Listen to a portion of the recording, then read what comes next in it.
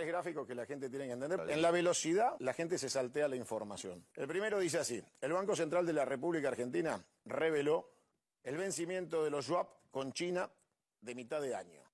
Es por 4.844 millones de dólares el vencimiento. Y con- 4.844. con la manera que maltrató a China, difícil que se lo renueven. hay más vencimientos. Después hay otra noticia saca un canal colega y dice, a través de un DNU, el Banco Central transfiere al Tesoro 3.200 millones de dólares para pago de deuda. ¿Esto no era lo que él quería prohibir por ley Claro. y convertir en delito? Exactamente. El financiamiento del Tesoro. Exactamente.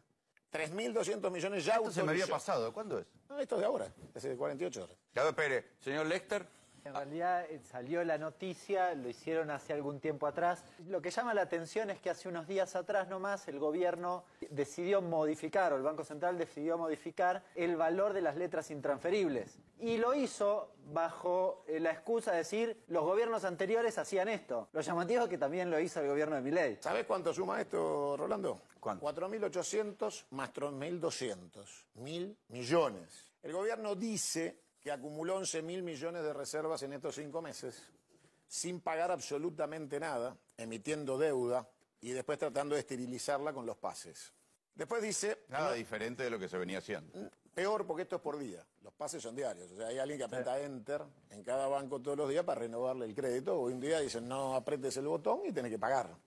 Después Clarín dice, el gobierno hizo compras por casi 15 mil millones y mejoró la hoja de balance del Banco Central, pero las reservas netas siguen siendo negativas en alrededor 2.500 millones y hay otros 50 mil millones de potencial demanda por deuda comercial y otros ítems. Entonces, si vos sumás 8 mil millones que se le caen, 3.200 que ya giraron, más lo que China se lleva, estás en negativo y ellos dicen que tienen superávit, tenemos un problema de desinformación de la clase media que le cree a, este- a esta bestia animal en materia económica que está haciendo un milagro económico y que viene el segundo semestre. ¿Te acuerdas de esa frase? Sí, sí, esa la vimos. Se ha anunciado el segundo semestre de mi ley. Los brotes verdes. Yo les digo qué es lo que va a pasar. Mira, con tres artículos se destrocé las reservas del Banco Central. Claro, este está por Claro, separado esto, de este. aclarémosle a la gente que esto llevaría a una crisis macro, que es justamente lo que, Lo que él Milei se dice- presume que es su fuerte. Correcto. El manejo de la macroeconomía y, y el sistema financiero.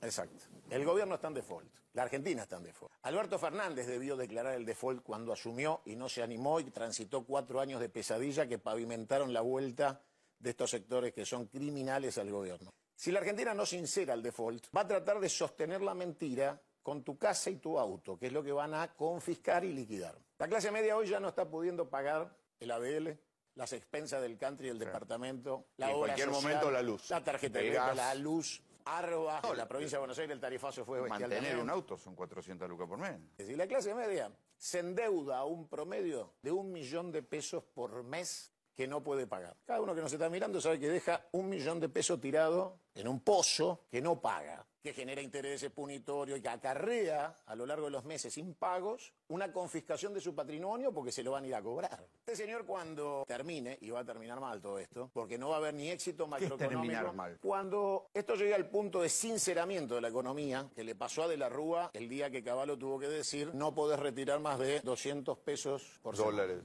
Hay un día que llega, un día que llega, hay un día en que el gobierno tiene que sincerar que todo lo que dice es mentira y que la cosa está explotada. Como nadie se anima en la Argentina a decir la Argentina está en default, nunca empezamos a salir.